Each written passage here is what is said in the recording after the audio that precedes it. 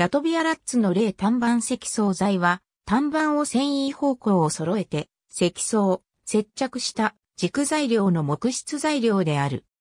単板積層材という名称は、日本農林規格での呼び名であるが、一般には、英語表記、ラミネーテッドベニアランバーの頭文字を取って、ラトビアラッツと呼ばれることが多い。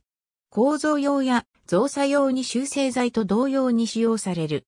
修正剤も木材を接着剤で貼り合わせて製造するが、ラトビアラッツでは厚さ数ミリメートル以下の薄板を修正材では1センチメートル以上の厚みの木材を積層する。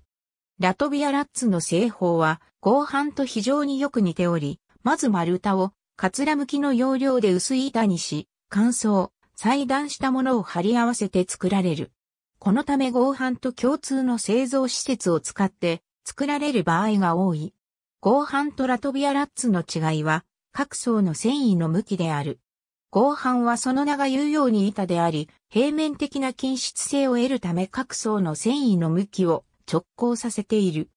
これに対して、ラトビアラッツは、主に柱や梁など長い棒状のものとして利用されることを前提に、長さ方向の強度を優先して作られている。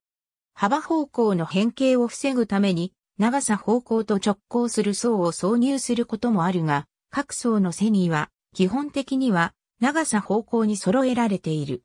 製法が似ているためかつては、平行合板とも呼ばれたが、板というよりは棒である。材料は、針葉樹、紅葉樹とも利用可能であり、間伐材なども利用可能である。利点と欠点は、おおむね修正剤と同じである。詳しくは修正剤を参照。ありがとうございます。